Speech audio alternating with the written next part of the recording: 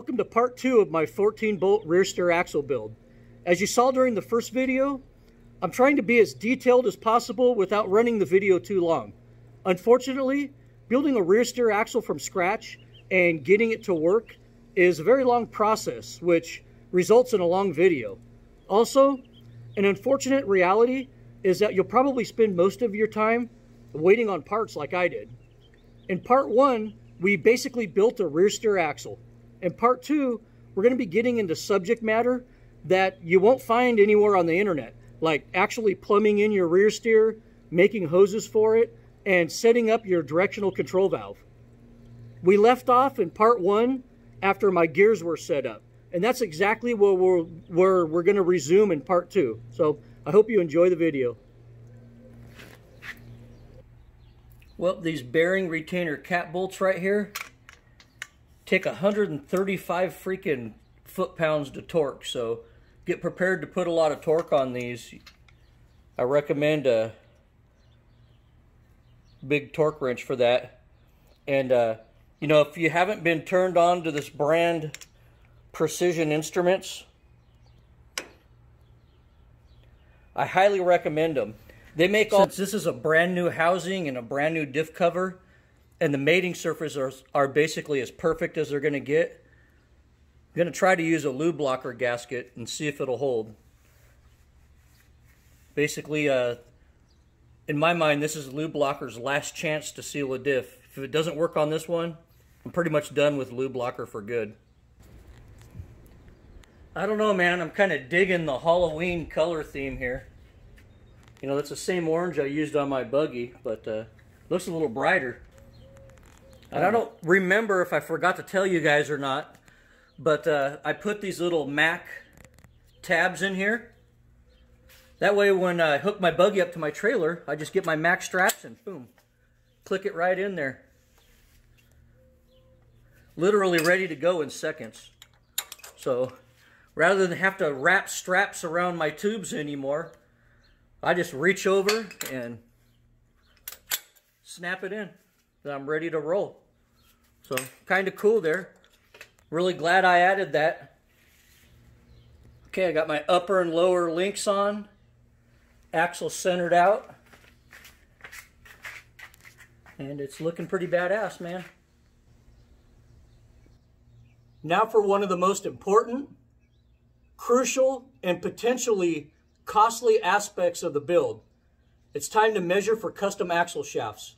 You'll need to be very patient, do your research, and probably get a buddy or two to come over to confirm your measurements to make damn sure they're right. I'm going to have custom 300M RCVs made for this axle. And RCV has a great custom axle builder order form on their website, so go check that out. You need these measurements to be exact when you order for custom axles so you don't waste $3,000 on axles that don't fit. First of all, you need to measure inner shaft length. Because you need to measure a line between the center of both kingpins, I like to use one of these telescoping magnets and basically uh, stick it to the center top of the top kingpin and then line it up with the bottom kingpin right there and basically I'm going to use that to measure center kingpin off of. Now, stick a tape measure through the C's. Next, you'll need to measure spline length. Some spools have 3 inches of splines, and some carriers have less than 2 inches of spline engagement. The Grizzly Locker in this axle has exactly 2 inches of spline engagement, so you need to measure your spline engagement. And lastly, you need to remember that 14 bolt axle shafts don't come factory with an axle seal service right, surface right here. You know, it's basically a rear application axle, so there's no axle seal on the, the inside of the tube. So don't forget that your 14 bolt axle rear steer axle shafts will have to have a sealing surface built into them to properly seal the axle tubes. You saw earlier in this video where I'm using the Crane Revolution 14 seals in this axle. So that makes it very easy to get this measurement uh, in the center section. You could see that this stock 14 bolt axle shaft has absolutely no sealing surface. So the new shafts I'm having made uh, at RCV are going to be made with a sealing surface, you know, uh, that's similar to your typical steering axle. And that brings us to stub shaft measurements, which are going to be super easy. Since I'm using common GM Kingpin Dana 60 outers, I'll be using common GM Dana 60 stub shaft, you know, which uh, are commonly 12 inches from uh, the uh, center of the uh, yoke hole uh, out to the end of the shaft right here. I believe they're, they're 12 inches for the Dodge and GM Kingpin Dana 60, so it doesn't get any easier than that. Well, remember when I talked about those uh, upper mounts on the buggy that I need to uh, cant inwards and lean back a little bit? Well, I'm going to go ahead and uh, fire up the plasma right now and uh, cut those off. Get the get them cleaned up and re-welded on in the correct orientation.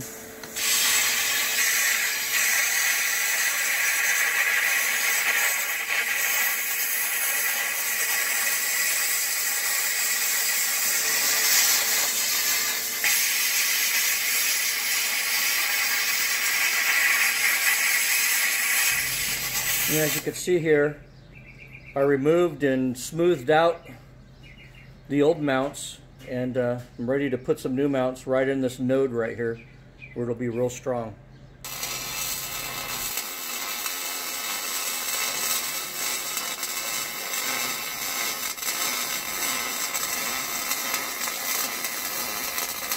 So I got these shock mounts up now. The upper shock mounts are done. I recessed them in a lot and uh, shortened them up a little bit. And uh, we're uh, just about ready to mount the ORIs back on. Well, it's getting closer to complete.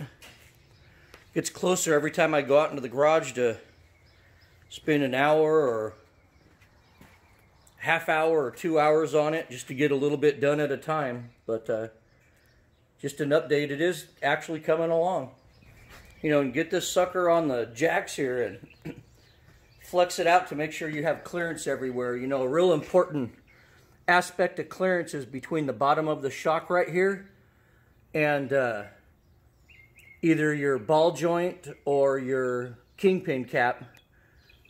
You know, because uh, remember, you shorten this axle tube a lot, so you had to move this mount out far. So you want to make sure that clears right there. Often overlooked spot. So I took my seats out. Uh, I'm going to get them reupholstered and uh, put in some new harnesses. Those harnesses that were in here were almost 10 years old and saved me through some serious rollovers and backflips and everything. So time to take those harnesses out and put new ones in. But one of the big problems I'm running into is, you know, it's pretty tight in here. I have a pretty narrow buggy in the uh, the cab here and uh, I really don't have anywhere to put my rear steer valve, so I'm going to build a little uh, center tunnel right there, and I'm going to mount my rear steer control valve on that, try to make it look clean. But that's pretty much the only place I can mount it where it'll be out of the way. I mean, it's already pretty cramped in here. Buggy life. So I'm in the process right now of fabricating up a little uh, tunnel right there in the center to put my rear steer controls and maybe my winch controls too. So fabbing that up right now.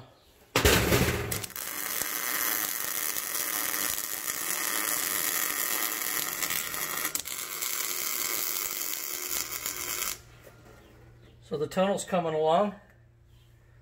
And uh, what's cool about this tunnel is it's complete bolt-in, removable. So let's go ahead and uh, start to skin this thing. Well, I got the directional valve and the rear steer joystick mounted up right there. And it's a perfect fit. Have all of my levers basically in one easy to grab area right here so I can manipulate it. And then I'm going to put a uh, an emergency kill switch right there and my winch controls right there to round out this little tunnel I'm building right there. So it's coming along. So I'm fabbing up a center console for my rear steer. And uh, you can see on my directional control valve joystick, I got a boot on here. And all I did was uh, pull this old throttle cable from the junkyard. Actually, it's a shift cable for a transmission. Pulled it from the junkyard, cut it, took the boots off, and uh, made boots for my little shifter. So I think it's going to turn out pretty good. Got my winch controls right there. And right here in the middle, I'm going to put an emergency cutoff switch. And uh, I think right here on the side of uh, the joystick, I'm going to put a little center indicator there. So see how that goes. So that's kind of the rough cut of what my little control tunnel and my center console is going to look like right there. You know, this is real rough. I need to refine it up a little bit and uh, put my return to center indicator in there. But uh, it's kind of how it's going to look. Okay, so over the last couple months, I really did my some research into pumps for my rear steer system. And I actually got to try out a couple of rigs that had the uh, um, electric over hydraulic rear steer. And they seemed to really like it, but when I tried it, I don't know, man. I really didn't like them because uh, they seemed pretty slow. And, you know, both the guys I tried it, they just had single battery setups like me. They didn't have dual battery setups. And every time they do their rear steer, you could see the voltage gauge drop. I mean, it's like a huge amp draw on the system with that. So I decided to stay away from that. Um, I ran into a couple of guys that were running dual pumps in the system, dual TC pumps, and they seemed really happy with it. I mean, it was fast. They could do front and rear at the same time. You know, they had a good argument that uh, if your front steering went out, you could still get off the trail with your rear steering, you know, but uh, I just don't have the room in my buggy to do that. I mean, it's twice the pump, twice the reservoirs, uh, twice the lines in the system.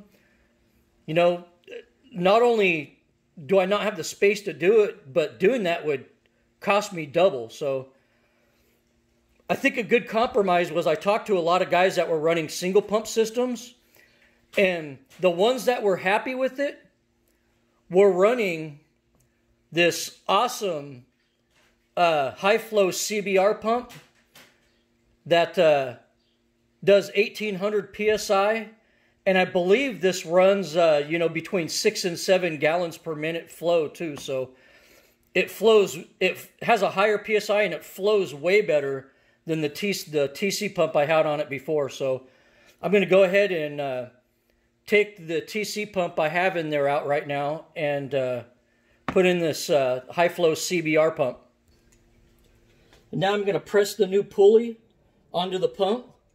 And remember, don't use a hydraulic press or don't be one of those idiots that try to hammer it on. You'll completely ruin it, man. I mean, I've seen these things. The shafts pop out the back from people trying to press the pulleys on with hydraulic presses. So basically, you're just going to fit it on there. And remember, the snout goes on the outside. You're going to screw this in the middle of the shaft.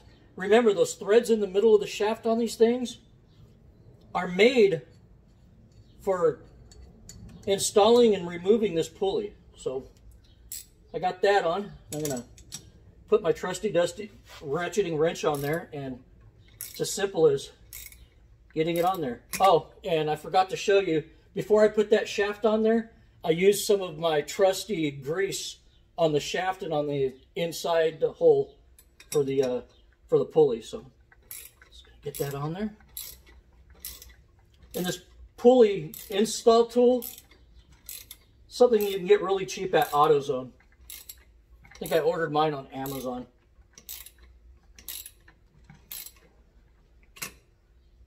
It really is that easy. Since I decided to use a single pump system, this is the diagram I'm using for all my hose routing. And uh, this diagram can be uploaded from PSC's website. Hose size is very important and can have positive and negative effects on your system. Hose size must be in sync with your system's needs. And I'm going to be using one of these uh, PSC directional control valves right here. And this is the newer designs that they sell, made by uh, Buescher Hydraulics, made in Italy. And uh, these are an upgrade over the previous models they used to sell. You know, it's got a nice adjustable pressure relief valve and everything on it. And uh, the joystick can be mounted vertically or horizontally on it, so it's easy to mount. So this is pretty much what I'm going to use to control my rear steer. Okay, so, you know, basically you already know my build plan here is I'm going to run 12 AN line feeding my reservoir to my pump, um, and then uh, 8 AN line out of the pump, and also 8 AN line into the reservoir. But the lines I run to my actual rams are going to be 6 AN line. In the Since I love these reusable fittings so much on my high pressure lines, I'm going to go ahead and show you how easy it is to install them properly. The first thing you're going to need is some soft jaws for your vise because, uh, you know, you're going to have to clamp it really good and you don't want to destroy your hose or fittings. You know, they make things like these specifically made to hold AN fittings, but, you know, after using these for a while, in retrospect, I don't really like these.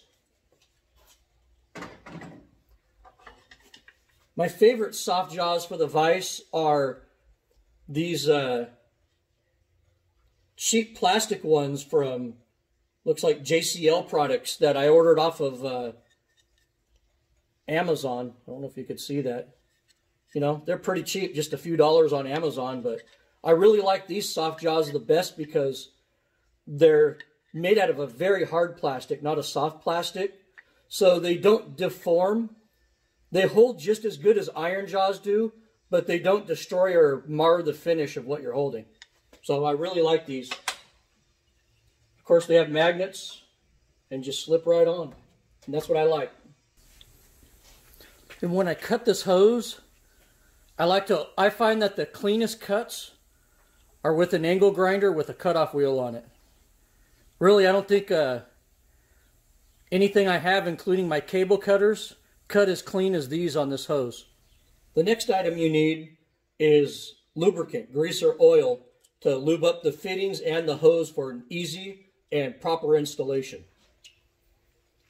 The first thing I do when I get one of these reusable fittings is I screw it in all the way, just to make sure it screws in all the way. You know, once in a while, nobody's perfect, not even Eaton or Aeroquip, and once in a while you'll get a fitting where the threads are maybe boogered up a little bit and you might need to chase those threads, but always try it out first. Make sure the threads are good. So next you're to separate the fitting.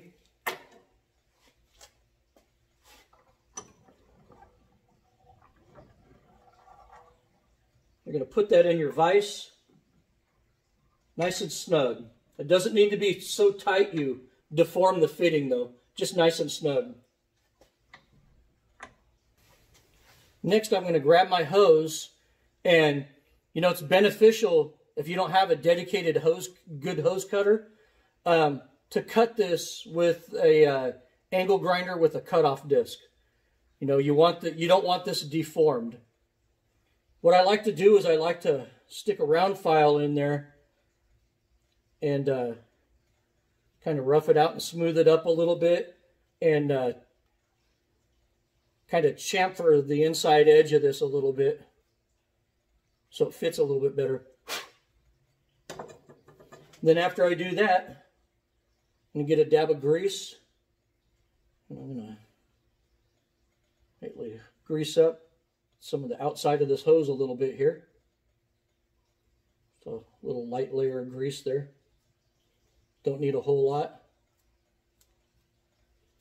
And we're ready to put this in the fitting. Okay, so with that greased up, we're ready to put it in this fitting. Be mindful when you screw this hose into this fitting, it's counterclockwise. Put that in there.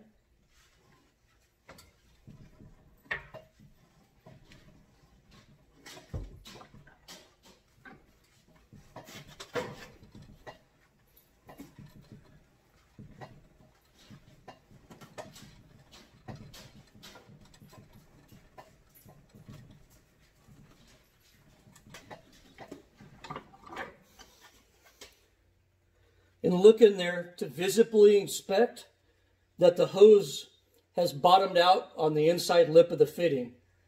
And once that's the case, I put it back in the vise and I back it off about a quarter to a third of a turn. And that part's done. And now I'm going to show you an alternate way of putting these reusable fittings on. Sometimes your hoses are just too damn long. I mean, if you're running, uh, making a rear steer hose, for instance, and your uh, directional control valve is on your dashboard, and you have to run a line all the way to the ram on your rear axle, that's just too long of a damn hose to push the hose into the fitting and twist it in. So this is an alternative method I use on longer hoses. Basically, I clamp the hose into the soft jaws. You know, not too tight. You don't want to damage the uh, the uh, braiding on the hose, but just clamp it in, then put the fitting on the top, then grab the appropriate size socket, put it on the fitting, and remember, with this fitting right here, counterclockwise is tightened. So I have it set for that, and kind of hold the hose and push down on the wrench. It screws right on. Goes right in. All the way down till you feel it bottom. And I felt it bottom there. Then it's always a great idea to have a flashlight handy so you can make sure the fitting bottomed out. And it looks like I actually have a little bit more to go there. I'm going to give this a couple more cranks.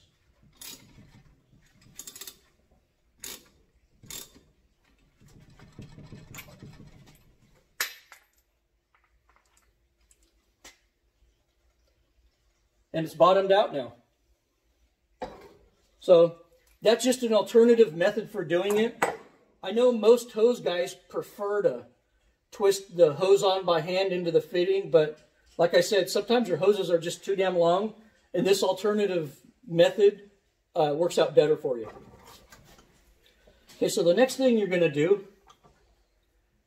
going to put that back in the vise lightly making sure you don't crush the fitting, but it's in there nice and tight. You're going to get this piece. You're going to oil that up nice and good, grease it up. Remember, you need to grease this. Don't miss that step. Push it into the hose until you start grabbing threads. And this is clockwise to tighten on this piece. And once you get it to grab and it's threading in, it's time to grab a wrench. And I personally prefer a ratcheting wrench for this part.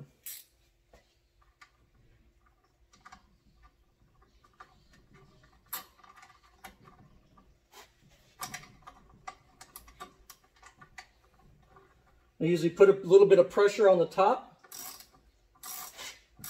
and start threading it in. Now you'll notice on a lot of these as you're threading it in, the fitting starts getting a little hot. It's not a big deal, just keep going.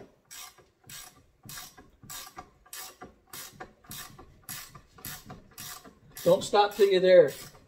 Remember, these are really fine threads, so it takes a little while to bottom out on it.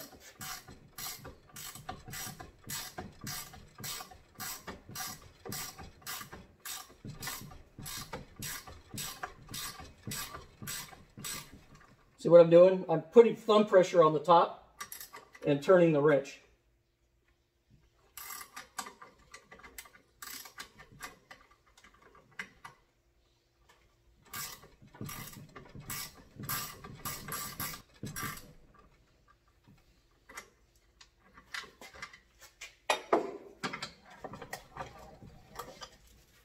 There you have it. A completed reusable fitting. Ready to run hydraulic steering. Oh, and before I forget, a last and very important step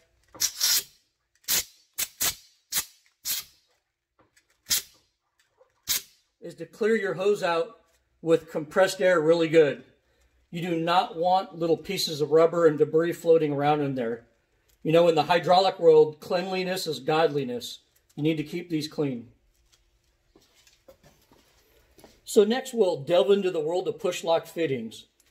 Probably the biggest mistake I see with people putting these things together is they don't lube them properly. You know, I just give them a little dip in grease right there. And, you know, most of these you can use your muscle and force it on. If not, you know, you could put it on a flat surface like this and just uh, work it onto there like that. But, uh, you know, these are pretty easy to put in. And, you know, if you're using a thicker hose or a hose rated for higher pressures, you know, sometimes you got to put the edge of these in and kind of work them around and, and work them in there a little bit. But uh, they're not too hard. Also, if you plan on using hose clamps, a lot of times slip that hose clamp on first before you do this, but just show you kind of how easy this is. And there you go. A properly installed push lock fitting. And this is pretty much how I run mine. A uh, dash 12 feed line, a dash 8 return line, and uh, dash 6 to the Rams. Well, I'm mocking up my hydraulic lines and how I'm going to route them. And uh, I'll go ahead and uh, get this jack right here jack this up, take the jack stands out and flex it out and put it at full droop and bump and make sure nothing binds. Well, let's try the rear steer out.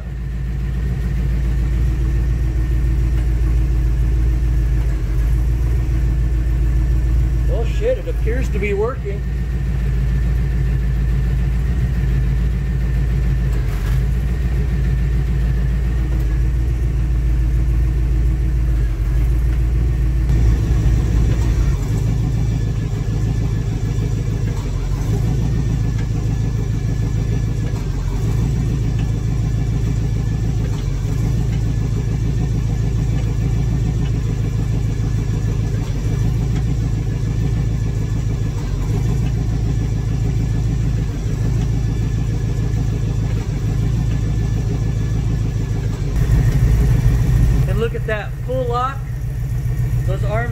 perfectly straight. I love comes together.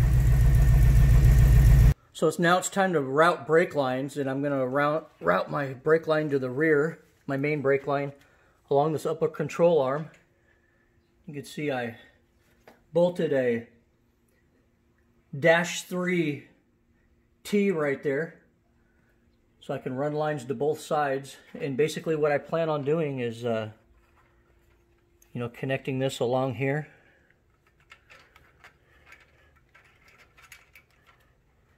Like that to the brake calipers. So I'm going to go ahead and uh, drill and tap some holes right here so I can uh, use these little rubberized hose clamps right there to uh, mount my brake lines up. And I'm using these awesome Russell chromed adapters and it basically adapts this banjo to a, a dash 3 fitting right here so I can run all my lines buy them uh, pre-sized and with just a regular straight end and plumb everything in just remember when you put these on when you're test fitting and everything, don't tighten this bolt down because once you tighten this bolt down all the way, these copper washers in here are basically one-time use washers. And every time you torque this down to torque specs, you basically ruin these washers. They basically, uh, it scores in the sealing surface, so you can't reuse them again. So don't tighten these down until last. And I uh, drilled a couple holes here for the brake line clamps, and uh, you can see I'm carefully threading this out to uh, accept quarter 20 bolts. Of course, using uh, some good cutting fluid on it and going real slow. So uh, let's get that done.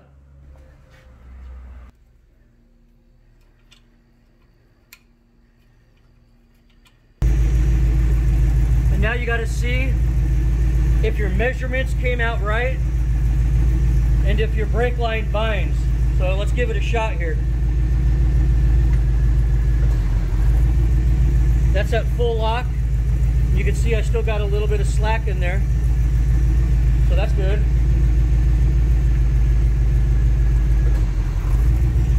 Then at full lock the other way. It's not hitting anything, looks good.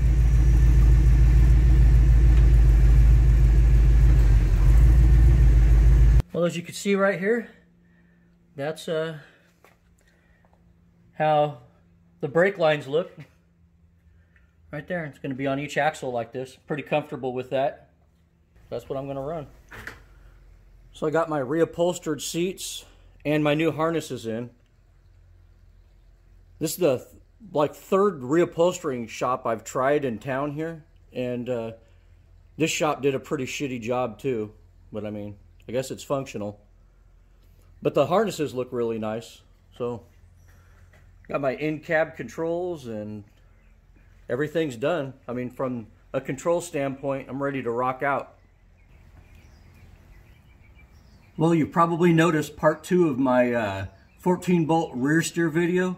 It's taken a long time to release. Well, that's because basically uh, I ordered my RCVs, my custom RCVs for the rear uh, back in, you know, beginning of June, and I was told it'd be four to six weeks. Well, um, when it was eight weeks, you know, I understood, I'll give them a couple weeks leeway, you know, with COVID and everything going on. So when it hit eight weeks, I called, oh, we're running behind on 300M, sorry, sir, blah, blah, blah. You know, then it was nine weeks, then 10 weeks, then 11 weeks, then 12 weeks, and I'm sitting on almost 13 weeks now, and I still haven't gotten them. But in, uh, I guess you'd say, uh, August, one of my buddies uh, told me, yeah, I just ordered axle shafts from Brannock, and I called them, and they told me five-day turnaround. And I'm like, well, these are custom shafts. You know, they have to, this is a 14-bolt rear steer. These shafts are fully custom down to the axle sealing surface.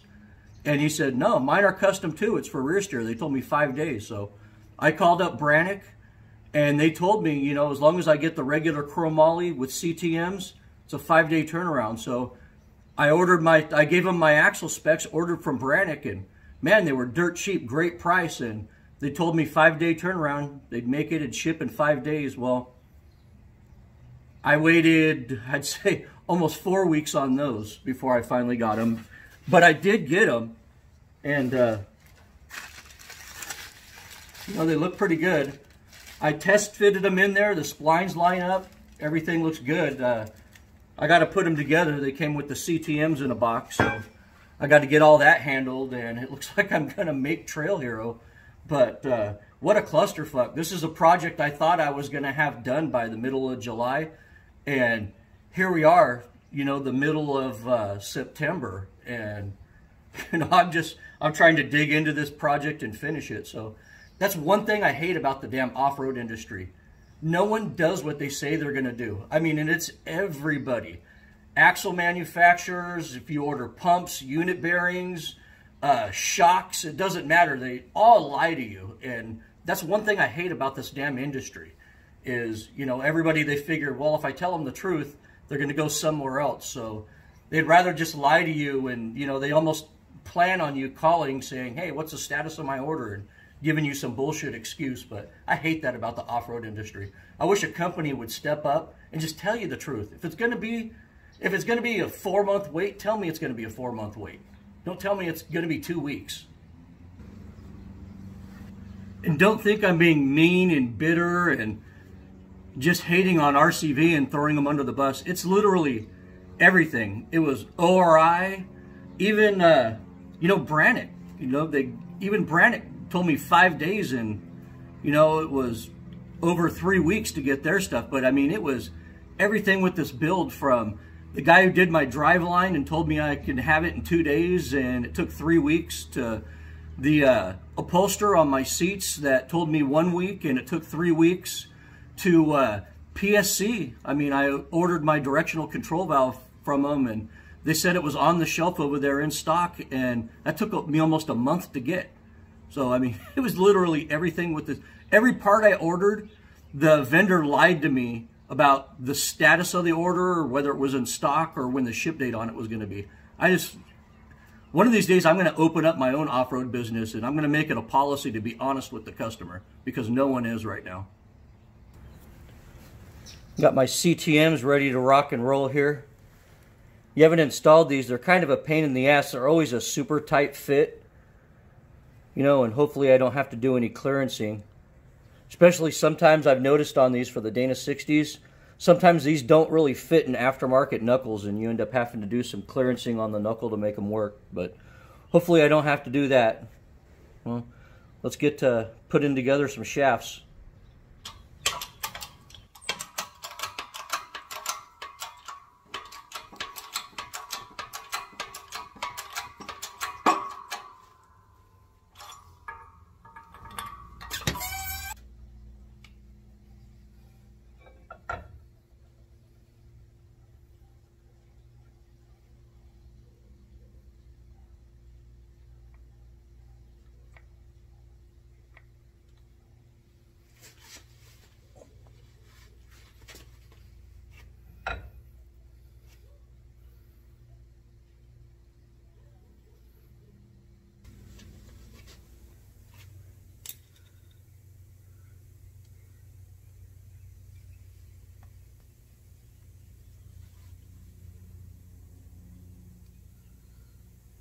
Make sure this taper goes to the inside.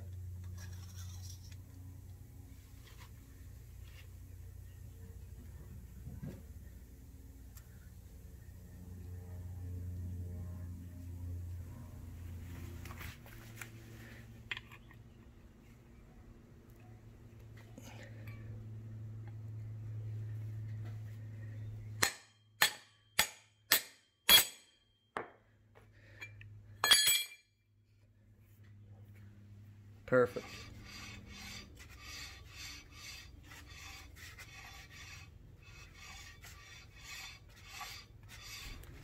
Well, I finally got everything bolted up here.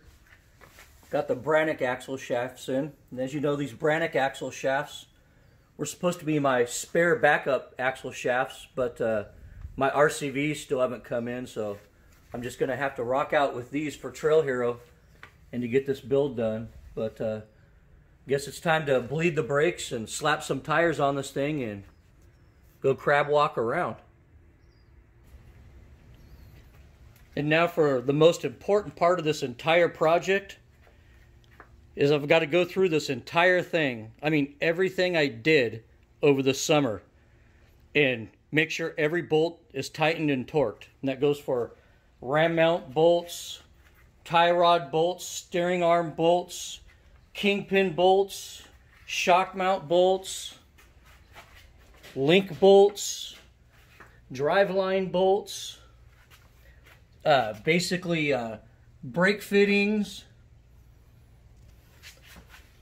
Basically have to go through the entire thing. Hydraulic fittings.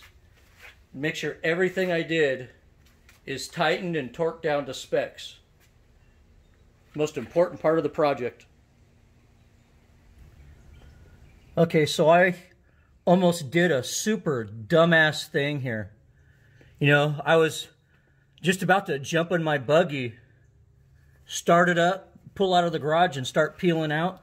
And I just remembered I still haven't put any uh, fluid in the diff. So don't be a dumbass like me. Even if you think you did it, uh, you know, if your buggy's been sitting this long because it's been a long project, check again just to make sure that you put fluid in it. Dumbass. So when it's all said and done, you're probably going to have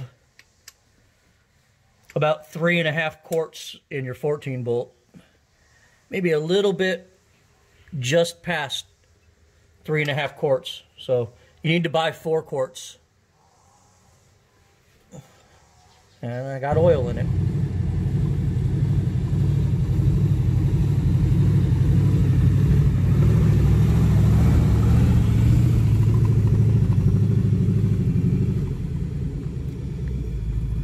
So it seems to be pretty doing pretty good so far. Now I think I need to take it out to the desert here just for a day for a quick shakedown run. So one of the things I did today is I have a little GoPro mount in here and uh, I'm going to hook my GoPro up to watch my rear suspension cycle. Um, I did this to my Jeep and Becca's Jeep when I did the when I stretched the rear ends and did the suspension on that and it really told me a lot so uh, I highly recommend hooking up a GoPro to uh, the back of your chassis to watch your suspension cycle.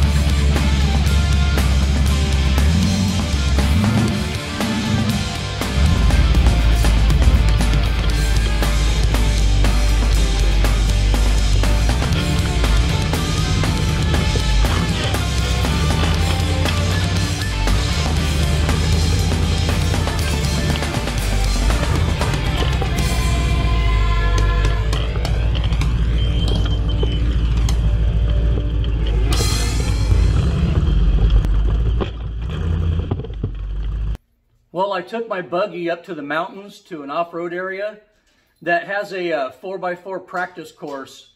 Hungry Valley is the perfect place to do shakedown runs because it has both artificial obstacles to flex on and lots of areas to do some really good high-speed runs as well.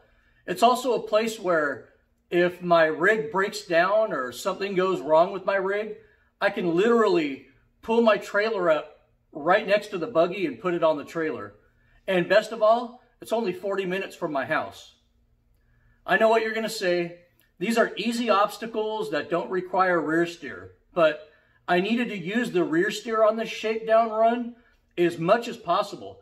I needed to actually overuse the rear steer on this run. So if any problem, you know, so any problems with my build would become obvious to me and I could fix them before I take a big trip to Trail Hero in a week. Well, the only thing I noticed was that one of the lock nuts on one of my Heim joints came loose, you know, and I fixed that already. I also feel like my front passenger ORI is leaking fluid from the top chamber into the lower chamber, you know, and I'm getting a little bit of hydrolock. So uh, I think I'm going to swap out that ORI with my spare ORI and uh, send the one with the seal issue back to ORI after Trail Hero's over. But overall, I'd say that I'm very happy with the build and the performance of it. And I think I'm ready for Trail Hero now. So stay tuned for my Trail Hero video in a couple of weeks so you can see how my rig does on real obstacles. And most importantly, I want you to learn from my mistakes on this project. Don't start ripping apart your buggy until all of your parts are in. You know, I missed a good four months of off-roading because I was impatient and I started tearing into this thing before my parts were in. You know, I don't care what lead time vendors give you for parts. Don't believe them. You know, you're going to have long waits on parts no matter what you think or anybody tells you. So get your parts together first. My next piece of advice is to tack your shock and link mounts up and never burn them in until your buggy's been completely flexed out to the maximum with the wheels at full lock. You know, I ended up needing to plasma cut my lower shock mounts off and re-weld them in a different position to clear the steering arm at full lock and maximum flex on that side. You know, and lastly, have a build plan before you start. You know, I made tie rod ends that I never even used and ended up stretching my wheelbase you know, uh, midway through the project and, you know, I paid for that. So have a good plan before you buy or do anything. You know, it'll save you money and time in the end. And where I think I surprised myself on this build was with how awesome my measurements were. You know, everything from link lengths and geometry to custom axle shaft measurements came out perfect on this build. You know, trust me, that doesn't always happen. As a matter of fact, it's more the exception than the rule, I think. But it's really nice when it does happen. You know, uh, I was very careful with my measurements, and I think it paid off for me. So I really hope you enjoyed both of my 14 bolt rear steer build videos. And if you like my content, you know, hit subscribe. And as always, thanks for watching and keep the rubber side down.